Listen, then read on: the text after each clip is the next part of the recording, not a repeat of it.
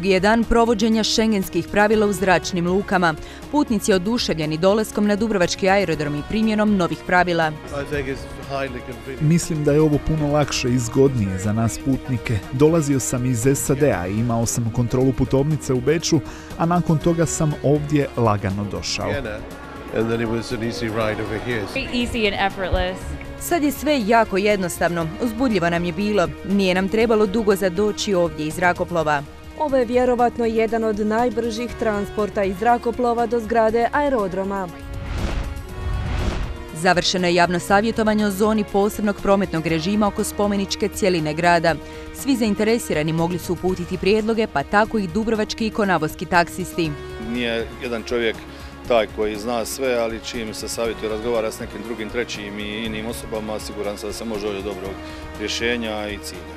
Od lokalnih taksista koji živimo od tog posla, e, gradski prijevoz, e, građani, svi smo jednu ruku patili zbog tije gužvi i te liberalizacije taksi tržišta. O stanju Dubrovačkim muzejima i navodno narušenim međuljudskim odnosima za dnevnik Dubrovačke televizije, govori sindikalni povjerenik Darko Milošević. Prošlo je 20 dana od kad su iz policijske udruge branitelja odaslali apel vladajućima za premještajem u prikladnije prostore. Godinama djeluju u hladnici u nehumanim uvjetima rada, pa se nadaju da će gradonačelnik imati sluha za njihove molbe.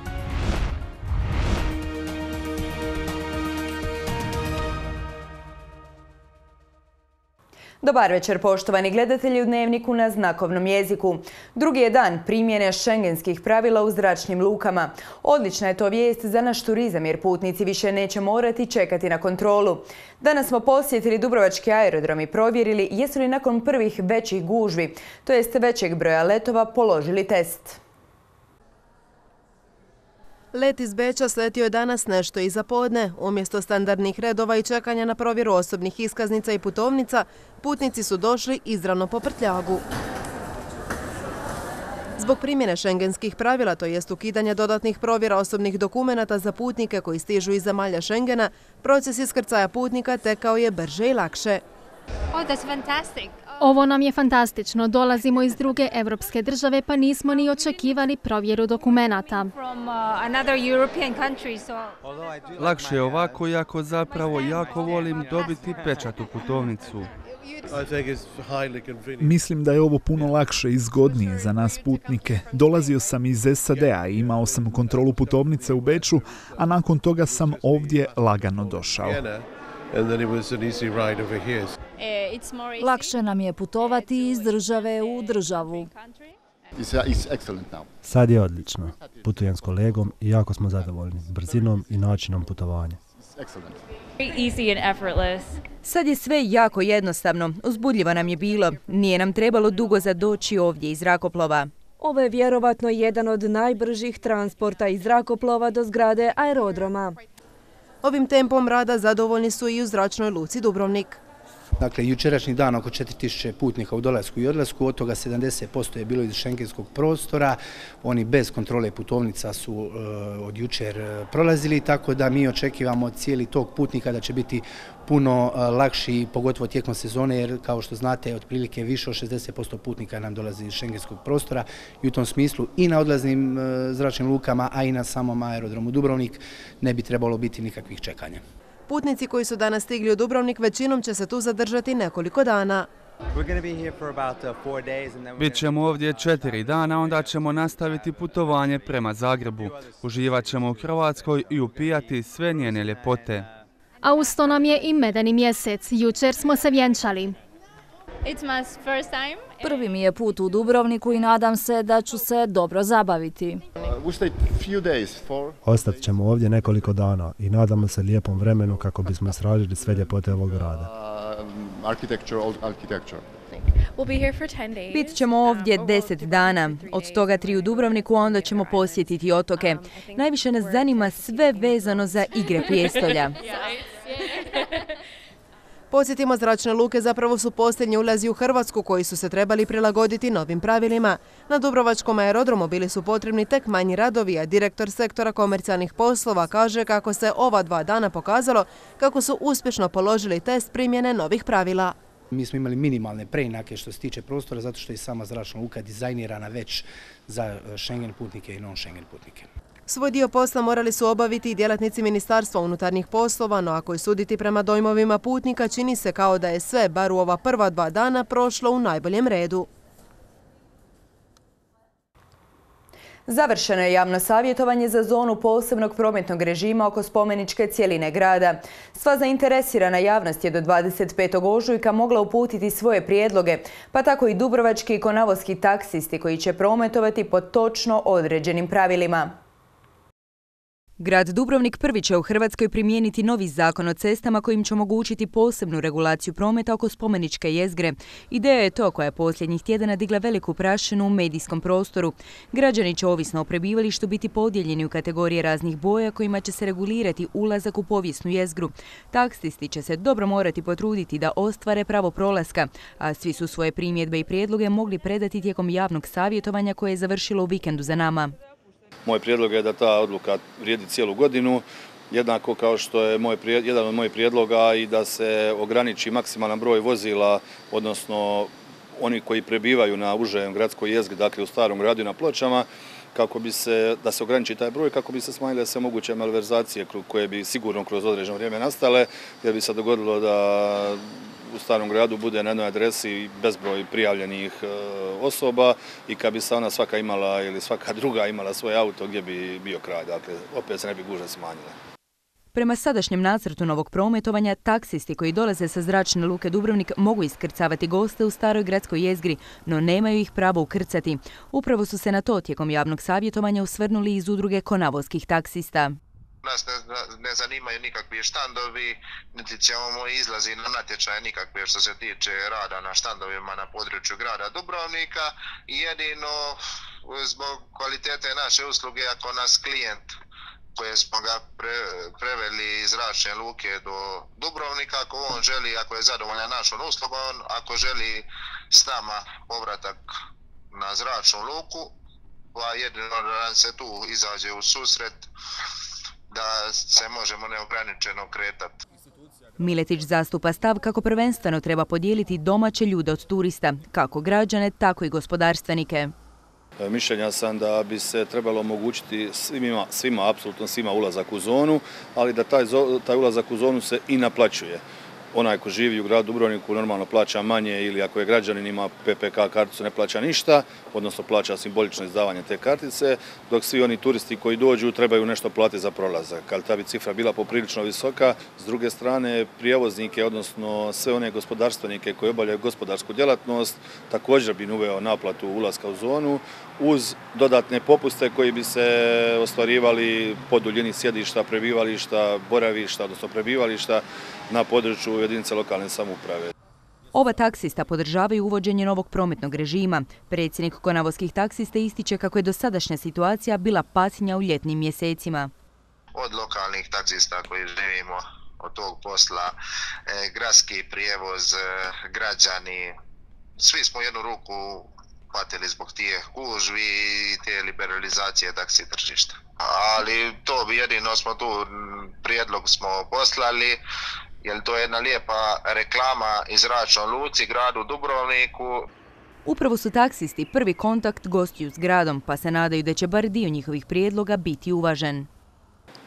Pa gledajte, mislim da je ovdje riječ o stvarno nekakvom zajedničkom interesu, dakle svih nas kao građana i gradske uprave kao ti koji predstavljaju, odnosno vode naš grad.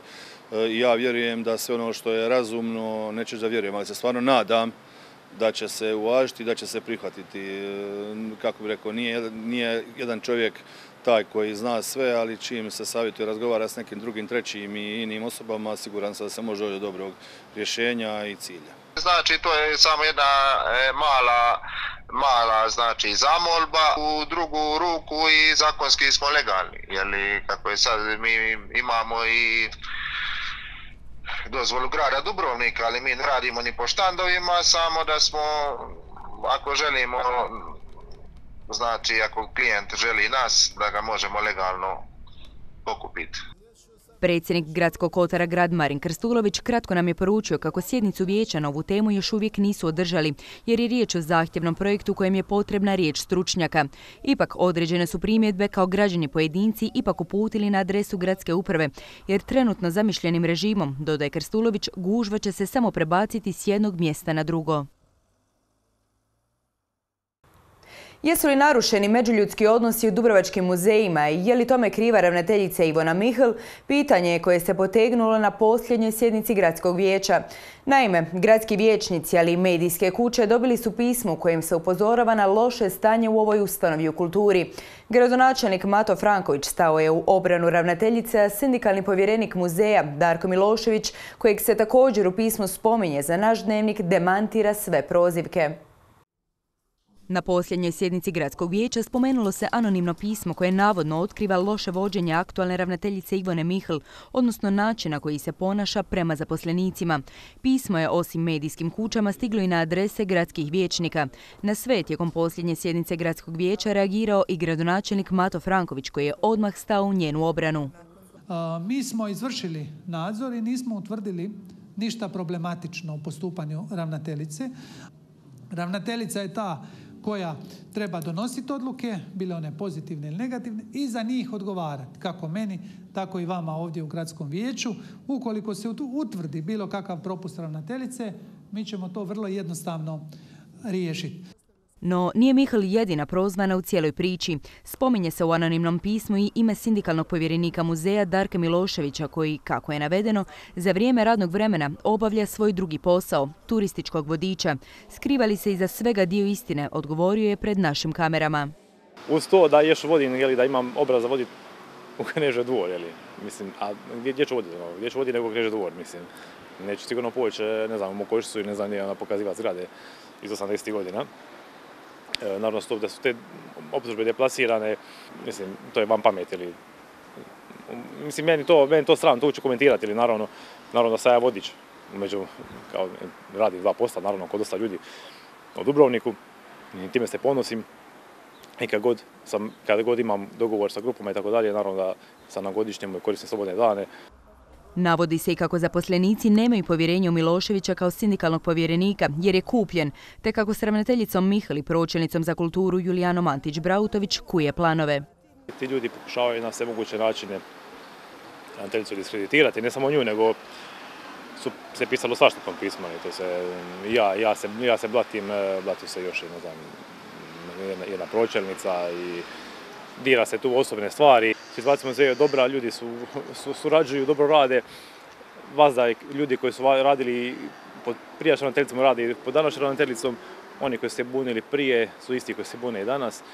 Anonimno pismo kao takvo, smatra Milošević, u potpunosti je bezvrijedno, a pojedini dijelovi, dodaje, mogli bi biti utuživi. A pogotovo nikako ih ne potpisivati sa zaposlenici Dubrovačkog muzeja, kao što je bilo potpisano. Jer su zaposlenici muzeja koje ja predstavljam bili zgroženi s time da su bili kao na tom, na tom pismu kao eli, potpisani, nisu bili potpisani, nego su bili navedeni kao što je isto, eli, može biti može bit temelj za nekakvu tužbu naknadnu. Pojedincima su sporne i drvene klupe postavljene u samom srcu Kneževog dvora, kao i kamere kojima navodno nadgledaju radnike i dijele otkaze. drvene klupe. Pođite u Louvre i vidjet ćete da Louvre ima drvene klupe gdje gosti mogu sjesti odmoriti, pročitati nešto o djelima koje gledaju, predahnuti, popiti malo vode. Muzej to nisu imali donedavno. Znači danas ravnateljica je stavila klupe te koje su po ovom sudu su se i vrlo odlično se uklopile. Prostor mora biti pod videonazorom. E, nisu kamere u kancelarijama, kamere e, snimaju e, ulaz u Knežev dvor, kamere snimaju kasu gdje se radi sa novcem. Znači, to je apsolutno neusporno. Spominjao se i besplatan ulaz grupama za pojedine agencije, neisplaćeni prekovremeni sati, zakinuti slobodni dani kao i nasilno otvoreni osobni ormarići.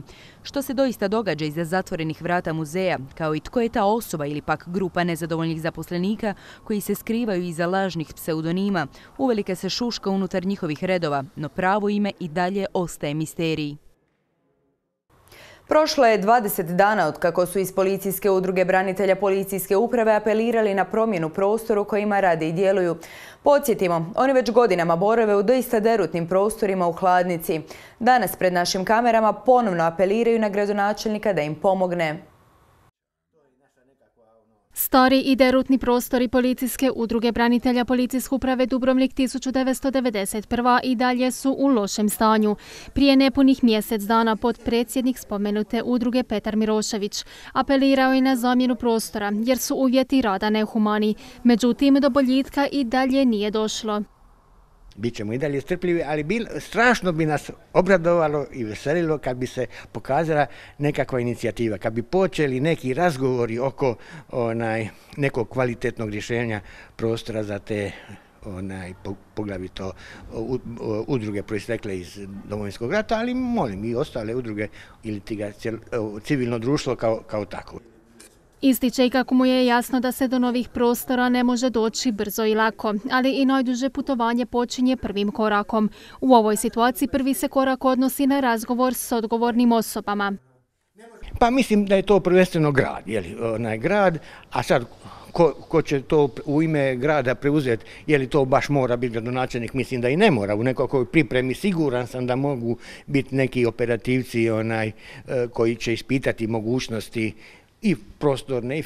Mislim da čak u ovom momentu nije neophodno govoriti o financijskim onaj, e, aspektima jer siguran sam da se za te sredstva može naći onaj, iz, iz europskih fondova jer oni poznato je financiraju i potpomažu civilno društvo. Ističe kako konkretnog kontakta s gradonačelnikom Matom Frankovićem nije imao, te on nije došao u prostore udruge. No ukoliko je voljan, Mirošević ističe gradonačelnik ga može posjetiti. Mi smo inače utorkom tu onaj, se sastajemo, onaj, a ove, svaka od ovih ostalih udruga ima neko drugo radno vrijeme, ali e, otvoreni smo zaista i za javnost, dakle ne samo za uglednike i upravu gradsku, nego za, za bilo koga koga interesira u kojim uvjetima evo ova udruga radi i pokušava tim svim našim ratnim veteranima onaj, pomoći u njihovim neto svakodnevnim problemima koliko naravno u skladu s našim mogućnostima. A udruga će i dalje biti smještena u starim prostorima sve dok nadređeni ne pomognu u skladu s njihovim mogućnostima. U nastavku informativnih minuta izdvajamo ove vijesti. Proveli smo jedan radni dan na terenu s prometnom policijom. Službenici su nam otkrili s kakvim se sve vozačima susreću. Provjerili smo može li se u Crvenom križu ili Caritasu donirati korištena odjeća. Iz obje ustanove apeliraju građanima da se daruje samo odjeća koja se može nositi. U nastavku programa od 21.35 gledajte emisiju U ime naroda s Markom Ljubićem.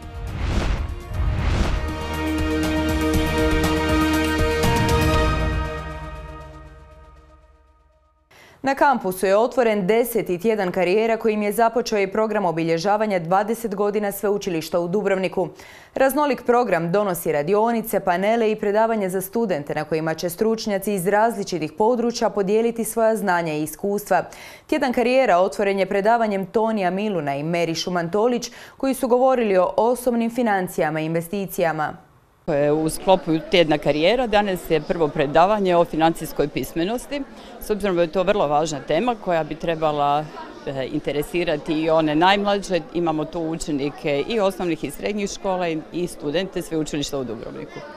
Pričat ćemo o tome koliko su e, mladi u Hrvatskoj pismeni, koliko zarađuju, mogu li zarađivati više, na što troše, štedeli i to što štede mogu li i u što trebaju investirati je dosta ljudi u minusu, otprilike pola ljudi u Hrvatskoj u minusu i to u prosjeku skoro nekih 800-900 tisuća eura. Ljudi ne znaju da je zapravo kad uđu u minus da je to kredit i to kredit po dosta višim kamatnim stopama nego da uzmu neki jel, drugi kredit, na primjer stambeni kredit. A, s kreditom jako oprezno treba, zato što zapravo mi trošimo novac koji nije naš i u budućnosti zapravo to što smo kupili na kredit plaćamo više, pa se zato kredit u pravilu uzima za ono što će kad ulažemo u nešto što će nam u budućnosti donijeti veće prihode. Naravno suočavaju i s ovim troškovima i to su značajne stavke u njihovom budžetu. Što se tiče troškova studija, u Hrvatskoj dakle, imate mogućnost... Pa najzanimljivije je kao studentima da znaju u što mogu uložiti u budućnosti, to jest da se ne oslanjaju samo na dohodke koje mogu ostvariti redovnim radom, nego i nečim izvan toga. Pa važno je financijski se opismeniti, biti u skladu s vremenom i upoznati nekakve trendove koji se danas događaju u svijetu, a trebali bi doći do nas. E, najinteresantnije je bilo slušati kako u studentskim danima uštedjeti, e, kako investirati, koji su sve izvori prihoda. Mislim da je stvarno super što su došle mlađe generacije, osnovna škola, e, što se njih potiče financijskoj pismenosti i mislim da je to jedno jako korisno predavanje. Naša Zrinka Majčica provela je dani s prometnom policijom na terenu. Da rade doista izazovan posao, snimile su i naše kamere. S kakvim se sve vozačima susreću donosimo u minutama koje slijede.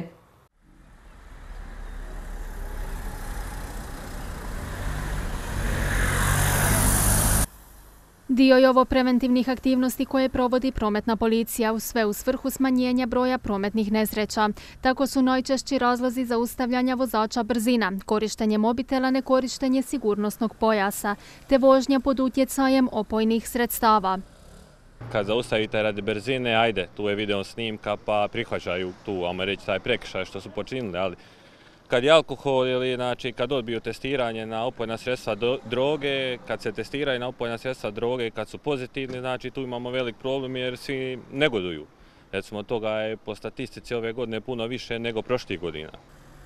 Osim negodovanja, prometni policajci na terenu se susreću i s pokušajem cijenkanja vozača kako bi smanjili kaznu.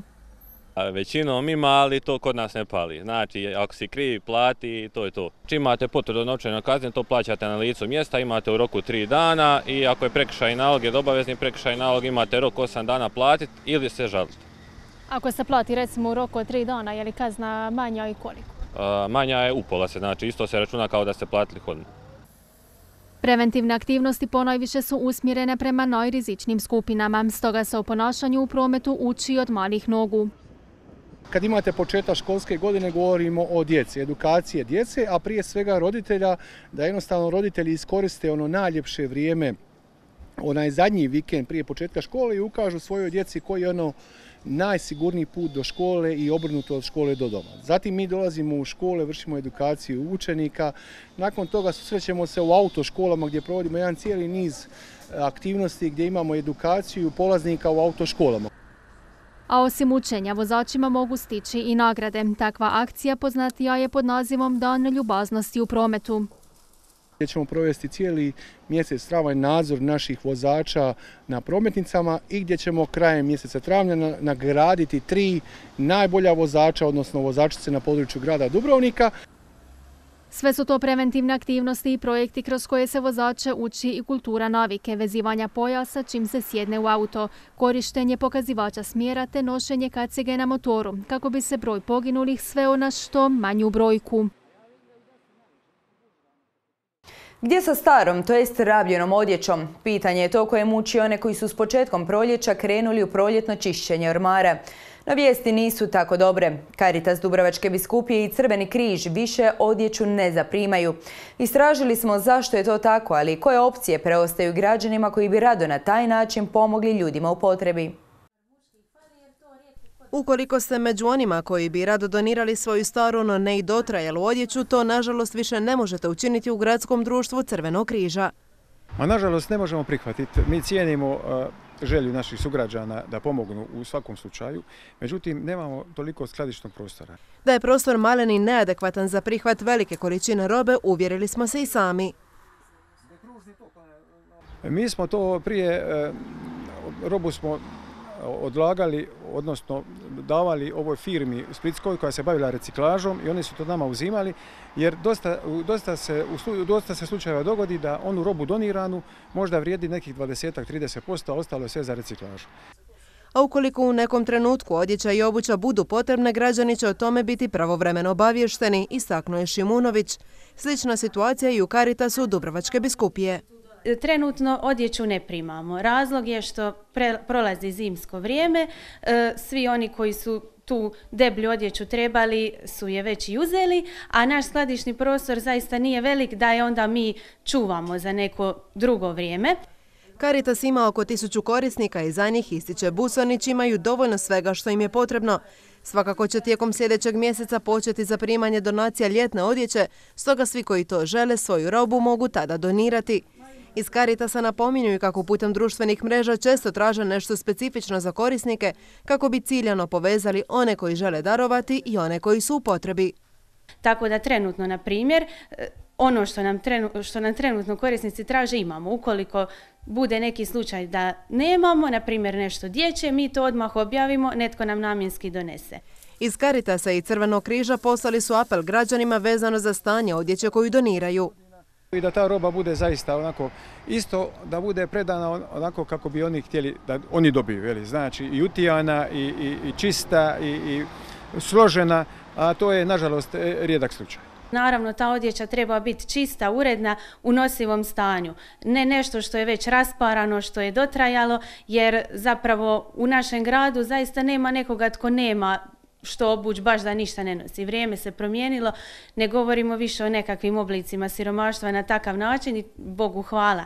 Tako da u tom kontekstu trebamo misliti evo jednostavno ono što bi ti volio obuć što se misli da bi se još moglo nositi, to i darovati. Potrebitih u Dubrovniku, bar što se odjeće tiče, nije puno, zbog čega su i ograničili za primanje donacija.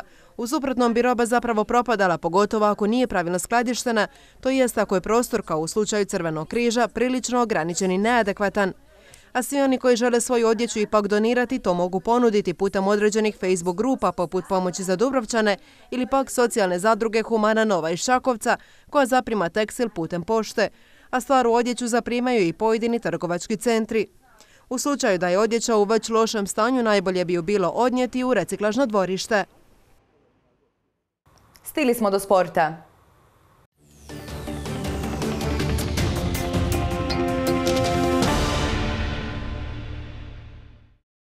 Poštovani gledatelji, dobran večer. Veliki uspjeh za vaterpoliste Juga. Ukupno treći trofej ove sezone osvojili su u sred Beograda, gdje su prvo izbacili domaćina završnice regionalne lige Novi Beograd, a potom u finalu sladali Splitski Jadran 14-12. Sve tri utakmice ovog finalnog turnira su bile šokantne i s te strane ja vjerujem da su gledatelji mogli uživati. Bio je i vrhunski vaterpolo na sve tri utakmice. Jako mi je drago da smo mi ispali pobjednici ovog e, turnira, zapravo ove lige cijele. Dva puta ovo na peterce, ali izuzetno, izuzetno zadovoljni i ponosni. Sama utakmica e, je krenula dobro za nas, izuzetno dobro, međutim kroz treću, četvrtu četvrtinu je bilo evidentno da smo izgubili snagu i, i nismo iskoristili svoje šanse koje smo stvarali. Jadran je bio u boljem tonusu, tako da smo se na kraju skoro pa dovukli do, do peteraca. I tu nas je opet Popadić uh, u principu doveo do pobjede kao jučer, ali danas je bio briljantan. Ponosni su u Tekvando klubu Šark, koji se s državnog prvenstva vratio s čak osam državnih prvaka. Prošle godine je bilo šest, sad smo na osam, znači rastemo, pokazujemo kvalitet iz godine u godinu i to mi je ono najbitnije. Pa naravno ovo je tek početak, već u petak idemo u Srbiju, u Loznica ima Srbija Open, e, nakon toga imamo Zvornik Open, e, imamo u šestom mjesecu Vinkovce, imamo Makedoniju, tako da imamo još sigurno sad jedno 5-6 turnira jakih do, do, do kraja ove prve sezone. Za početak vjerujem kako ste i tekako zadovoljni što se tiče ovog prvog natjecanja. Pa naravno da jesmo. Mislim, svake godine u principu cilj državno prvenstvo gdje smo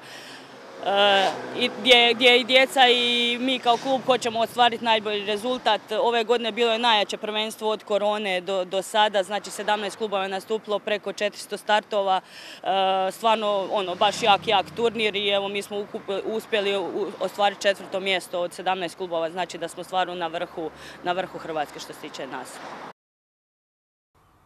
Čak 23. pobjedu u nizu ostvarili su košarkaši Dubrovnika u prvoj ligi, ukupno drugu u ligi za prvaka, gdje su u derbiju protiv Osijeka slavili 81-70. Derbi u pravom smislu riječi i mislim stvarno da smo odigrali jednu fenomenalnu utakmicu, možda najkompletniju utakmicu u sezoni gledajući od prve do zadnje minute. Imali smo mi prije odličnih ovaj, dionica, ali ovo je stvarno bila utakmica u cijelosti odigrana na jednom jako visokom nivou. Mi smo sad stvorili tu pristojnu razliku, ajde, teorije još postoje, ali u principu smo vjerovatno prvi na kraju ovoga Liga za prvaka, ali naravno opet ostaje play-off, kako stvari stoje, još će biti utakmica s Osijekom, još će biti borbi. Nama, na nama je da se spremimo i da potvrdimo sve ovo što radimo kroz cijelu godinu. A dvije bronce, jednu pojedinačnom, a drugu u mješovitim parovima, osvojio je Miho Simović, član stanotenskog kluba Libertas Marin Kolor na državnom prvenstvu.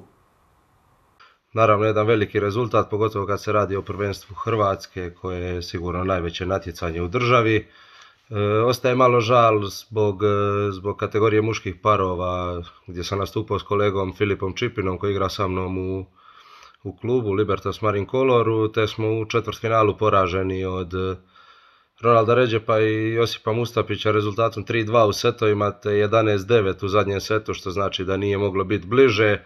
Evo bilo bi sigurno to lijepo za okružiti tri medalje, ali svakako i ovako je jedan, jedan jako veliki uspjeh te sigurno jedna motivacija za, za daljni rad i, i dodatne rezultate. S ovim uspjehom Miha Simovića, poštovani gledatelji, zaključujemo današnje sportske minute. Do sutra, lijep pozdrav!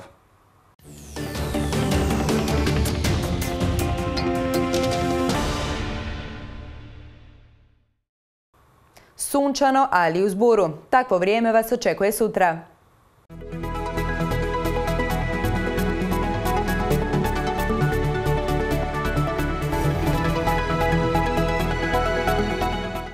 Pretežno ili dijelomice sunčano, ne posve stabilno te i dalje razmjerno vjetrovito. U unutrašnjosti ujutro mjestimice slab mraza uz dnevni razvoj oblaka sredinom dana i podne mogući su lokalni pljuskovi s kišom i snijegom, osobito u Slavoniji. Vjetar većinom umjeren u Slavoniji i jak sjeverni sjeverozapadni. Na Jadranu će umjerena do jaka bura s olujnim jorkanskim udarima malo oslabiti i krenuti na sjeverni sjeverozapadni vjetar, još u Dalmaciji s olujnim udarima. Najniža jutarnja temperatura od minus 2 do 2 na Jadranu 4 do 8, najviša dnevna većinom između 7 do 10, a na Jadranu 11 i 13 celzivih stupnjeva. Promjenjivana oblaka uz mjestimičnu kišu te grmljavinu i na krajnjem jugu Hrvatske. Umjereno do jako jugo-jugozapadni vjetar najprije će prije podne okrenuti na sjeverozapadni, a tek u noći na buru. Stoga će more biti umjereno valovito i valovito. U gradu slične vremenske prilike, kroz dan će se izmjenjivati sunčana i oblačna razdoblja, ali bez kiše. Puhat će umjeren do jak sjeveroistočni sjeverni vjetar, što će i sniziti temperature, koje će se kretati do 12 Celzijevih stupnjeva. U danima pred nama također promjenjivo i uz nešto niže temperature. U srijedu uz nešto više sunca, u četvrtak uz više oblaka, ali većinom suho, dok je u petak moguća i kiša. Biometeorološke prilike na području cijele zemlje bit će povoljnije nego prethodnog dana, no još uvijek i ne sasvim povoljne. U kontinentalnim će krajevima osjetno zahladiti u odnosu na prethodne dane, te stoga kronične bolesnike upozoravamo na adekvatnu zaštitu i oprez. Na Jadranu će osjet hladnoće pojačavati bura, ipak sunčana razdoblja tijekom dana povoljno će utjecati na raspoloženje i radni elan meteoropata diljem zemlje.